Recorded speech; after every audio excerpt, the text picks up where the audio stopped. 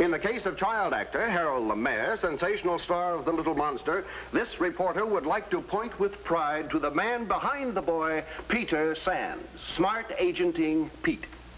And now the girl behind the man behind the boy is going to get behind the stake. Is that all, Miss McNamara? No, I might have a shrimp cocktail and a piece of pie.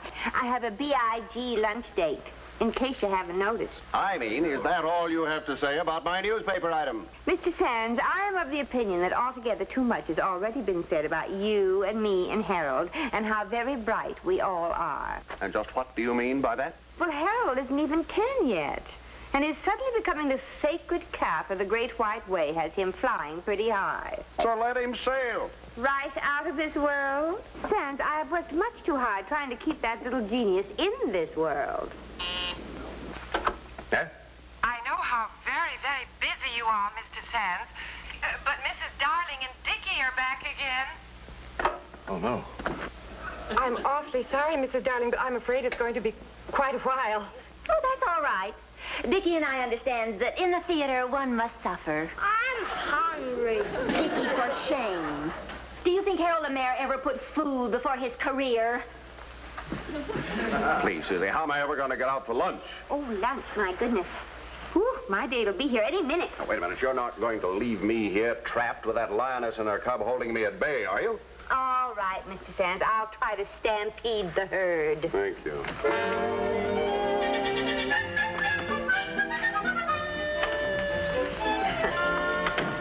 Hello, Mrs. Darling. Oh, Miss McNamara. Uh, Dickie, say hello to Miss McNamara. Hello, Dickie. I hope we're not keeping you awake. Uh, he's a little tired today. Well, that wad of gum would wear anybody down. Come on, darling. Recite Hiawatha for Miss McNamara. Uh, well, no, no, thank you, Mrs. Darling. We sailed down to Gitche Gumee the last time you were here, remember? And thanks. Miss McNamara, my Dickie's just another Harold Lemaire. That's what he is. Another Harold Lemaire? In the same generation? I think that's highly improbable. Harold. The one and only. Are you ready to dine, Miss McNamara? Uh, Dickie, look, it's Harold Lemaire. It's really him. it is really he. Come, Miss McNamara, it's 12.15. My fans gathered. Yes, your lordship. Uh, Miss, Mr. Lemaire, we saw you in The Little Monster, and believe me, we thought you were absolutely marvelous. Why shouldn't I believe you?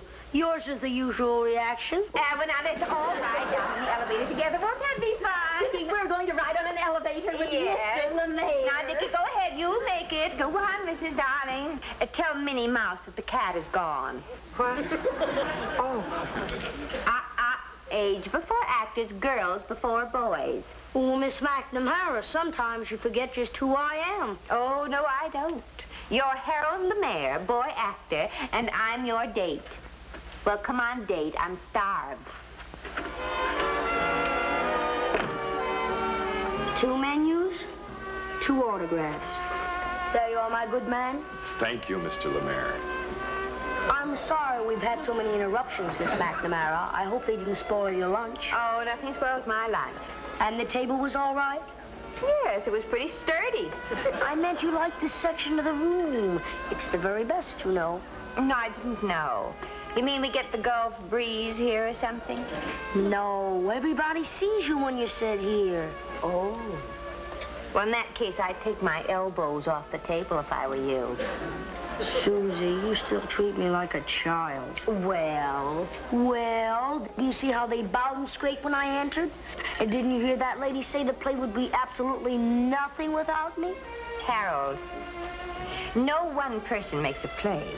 A play, like most everything in life, is a group effort. I suppose you think just anyone could do what I do. I didn't say that. You never say how good I am in it either. Well, you never give me a chance to. You always say it first. Uh-huh. Looks like Foxy's having some trouble with the kids. I hear the kid's crazy for Foxy. Ben, the kid's nine years old. What does he know from dames? What he needs is a big brother, a pal, a playmate. For 10% of his salary, oh, what a playmate I could be. what are you doing? Stop drooling, Cagey. You haven't got a chance. Sands got them all signed up. Oh, yeah?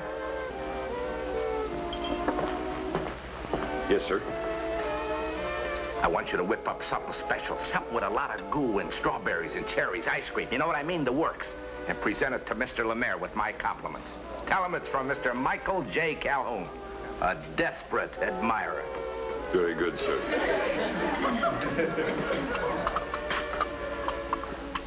Compliments of Mr. Calhoun, and I quote, a desperate admirer. Well, he's desperate, all right. well, the of him. He knows very well that you're signed with us. Well, he only sent me some ice cream. But two dollars worth. With Cagey, anything over 35 cents is wooing. You didn't think he'd like to be my agent? Well, who wouldn't? Well, the way you talk, no one would ever think I was anything special. You're working. For Cagey, that's special.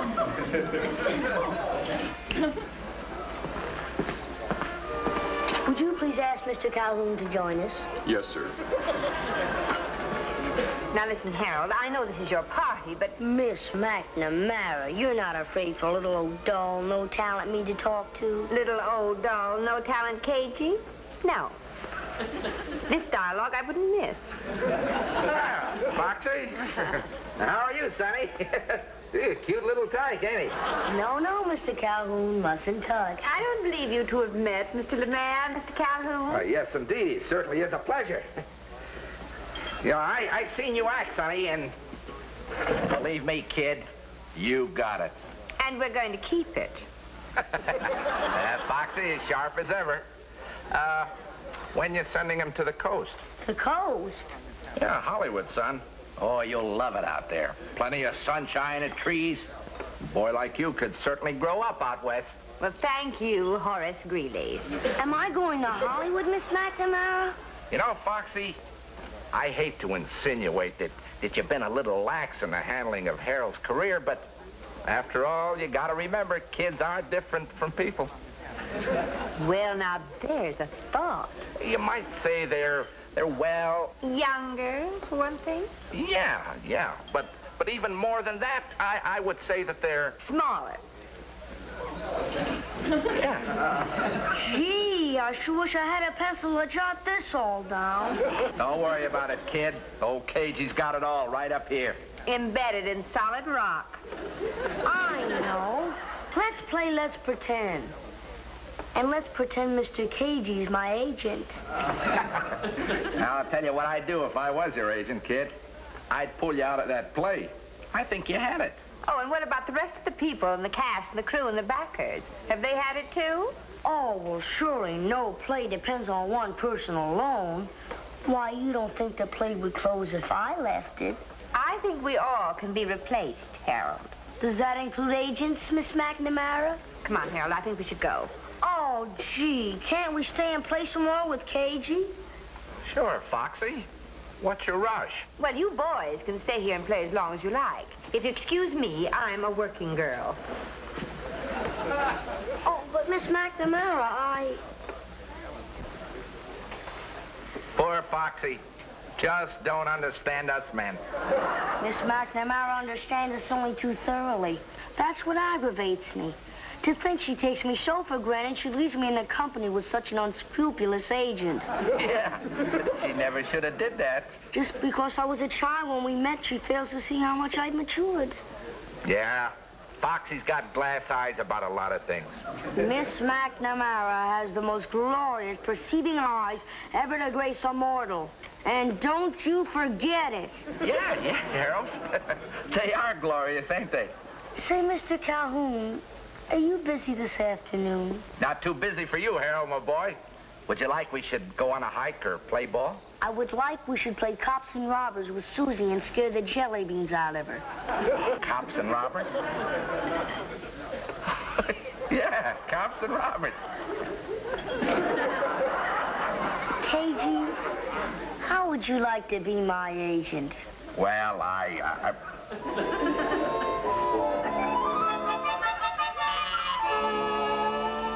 Yes, Vi. Susie, Harold's here. Oh, well, send that young man right in. Cagey Calhoun is with him. Cagey? They want to see Mr. Sands. Oh, oh, well, well, just a minute. Miss Sands, Harold is here. Wonderful. Cagey Calhoun is with him. Cagey Calhoun, in the flesh, Pete, in the flesh.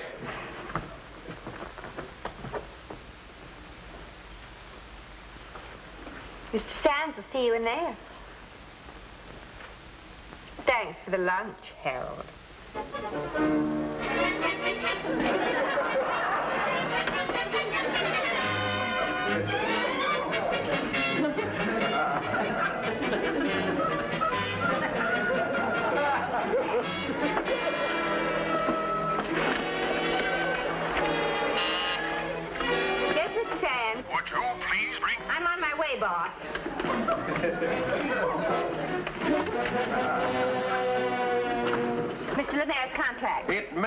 Interest you to know, Miss McNamara, that Calhoun has just asked for Harold's release. Oh?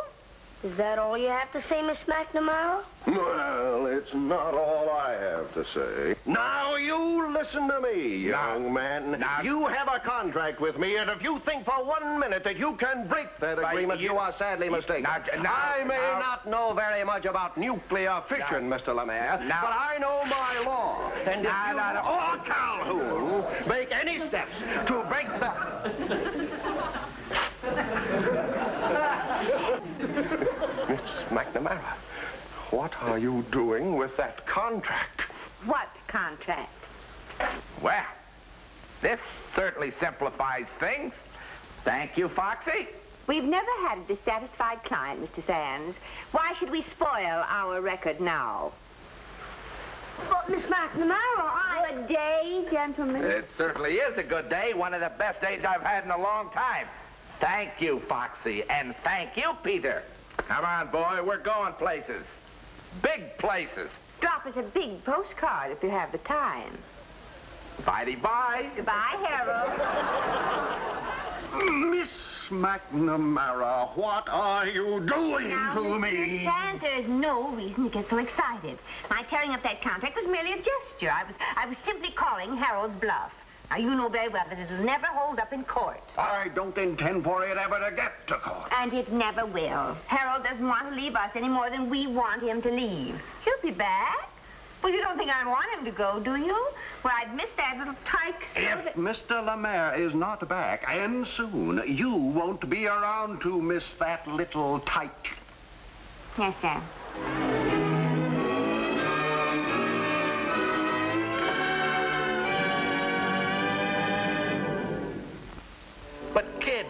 Don't you understand? We got to let them know on the coast what our plans are. I will spell it out for you just once more. Maybe this time your nimble brain will grasp the fact that you cannot let them know my plans because so far I haven't made any. Harold, you're being very difficult. Maybe we ought to give him back to Foxy. Ben, Foxy is pretty foxy. She's probably glad to be rid of him. I hear she's very broken up over my leaving. If she wasn't so darn proud, she'd get down on her hands and knees and beg me to come back. Look, kid, if you're going to be moping about this all the time, why don't you go and see Foxy? Maybe she'll give you another chance. Ben, baby.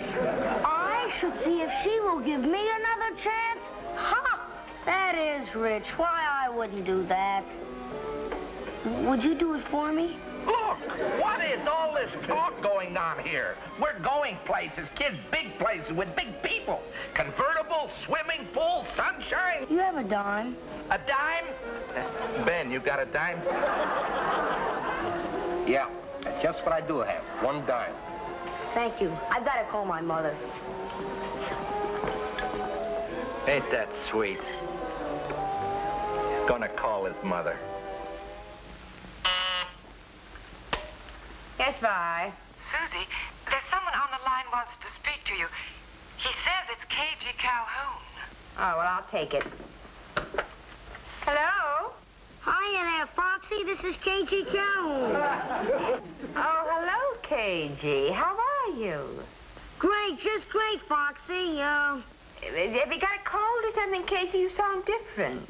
I do? Uh, uh, oh, well, as a matter of strict fact, I do have a little cold. Uh, It's Harold. Harold? uh, Foxy, uh, the reason I called you was about, uh, About Harold? Uh, uh, yes, yes. Uh, I called especially to talk to you about the dear boy. Well, I was very disappointed in the way Harold just picked up and left us after everything we'd done for him. Well, he didn't mean to leave you. And I'm sure if you asked him nicely, he'd be back in a second. Uh, and it's okay with me, Foxy, so, uh, why don't you ask him? Well, that's very decent of you, Cagey, but I couldn't do that. If Harold wants to come back, he's got to be man enough to forget his pride and own up to his own mistakes. Oh, he's proud, all right. But he has a great deal to be proud of, don't you think? Not lately. Well, thanks, Cagey, for calling. I hope your cold is better soon. Bye. Poor little thing. Poor little traitor, poor little deserter. No, Vi, this is really my fault. Harold just wanted me to show a little more enthusiasm over his success. But I was so afraid if I joined the rest of the cheering throng, he'd lose his perspective entirely. And I'm afraid I went too far the other way. He does think the world of you, Susie, and I guess he wants you more than anyone else to be proud of him. Yes, but he's got to come back here of his own free will. Susie, it's not going to be easy to get a child like that to put his tail between his legs and come crawling home. No? Well, then we have to make it easy for him. Some way that won't be embarrassing to him. Now, what can I do? Bye. I want you to call Mrs. Darling and tell her to send Dickie up to see me tomorrow around 1 o'clock and tell her not to come. Dickie, darling, but Susie, wh- whatever you're going to do, he can't act. I know it. That's exactly why I want him. Now, tell her I want Dickie to play a very special part, and he'll be very well paid for it. Hello, Mrs. Lemaire? Is Harold there? This is Susie McNamara. Oh, well, would you ask him to come in and see me tomorrow around 1 o'clock? Yes, I'd like to talk to him. Fine. Thank you.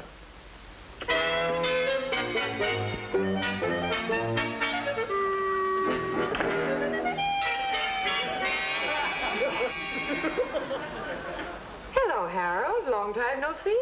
Miss Praskins, you've been reading No Count again. Would you please tell Miss McNamara I'm here? She's expecting me. I must say, Miss Praskins, I admire Susie tremendously. Of course, it's not easy to apologize, but then she's a grand person. Yes, she is. So, uh, she called you into apologizing? Well, she didn't come right out and say it, but uh, I know my Susie pretty well. Just a minute, Harold. She uh, has someone with her right now. Oh? Well, you just might tell her I'm here. Yes, sir.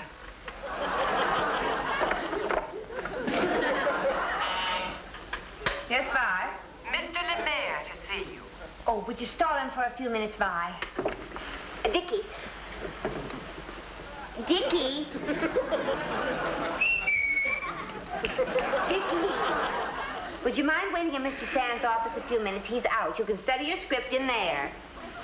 Oh, the vitality of youth. Come on now. Now, don't touch anything and try to stay awake. Hurry up, here, boy. Come on.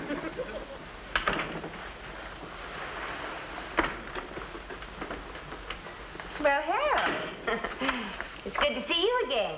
It's good to see you, too. well, won't you sit down? Oh, thank you. My.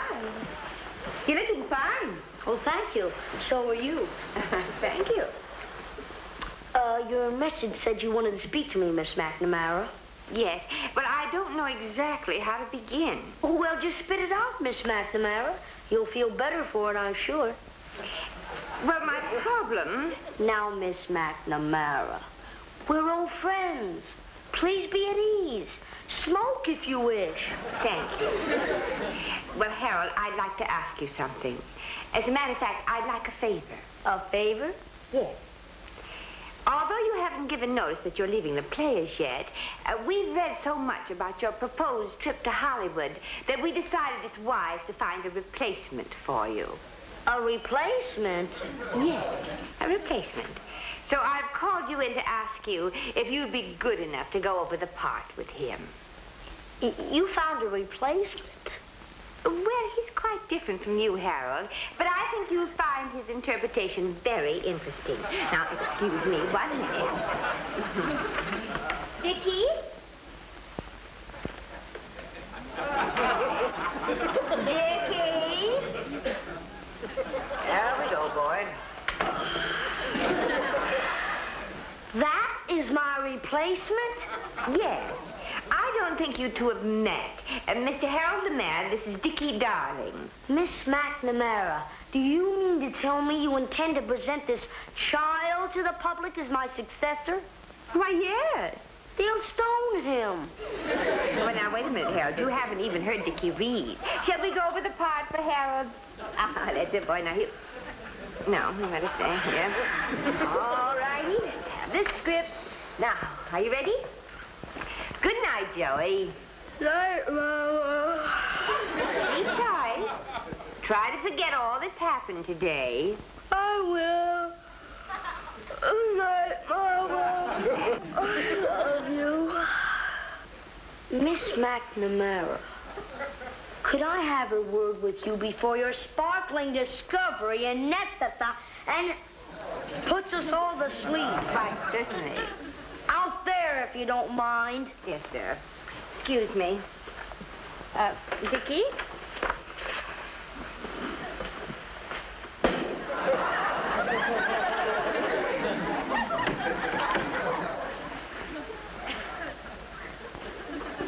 Is that the best you could dig up, Miss McNamara? Well, I know his performance needs work, but that's why I called you. Because I thought you could help him.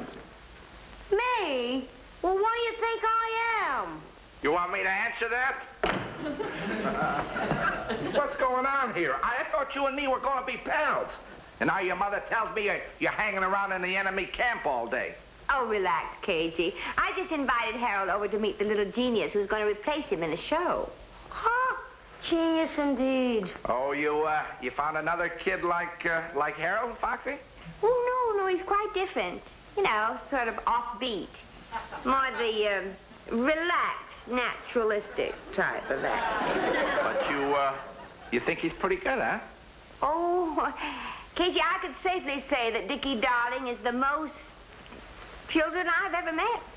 Well, uh, you're gonna let me have a little look at him, aren't you, Foxy? Oh, no, no, I don't think I could do that, Cagey. Oh, come on, Foxy. You can trust me. After all, I, I just want a little peek at him. You know, boy geniuses don't grow on trees. I know of one who ought to be swinging from one. Harold. well, uh, all right, Cagey, okay. I'll, I'll let you see him. But now remember, no... But no dirty work. Scout's honor. Ah, ah.